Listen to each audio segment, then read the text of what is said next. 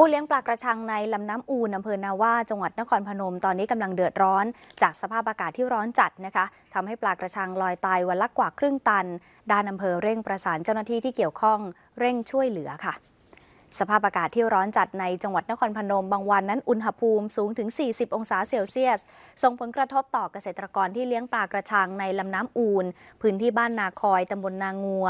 อำเภอนาว่ากว่า 20 ราย ทำให้ปลากว่า 1 0 0 0 0แสนตัวที่เตรียมจับขายในอีก 1 เดือนขาดออกซิเจน ทยอยตายวันละกว่า 500 กิโลกรัม มูลค่า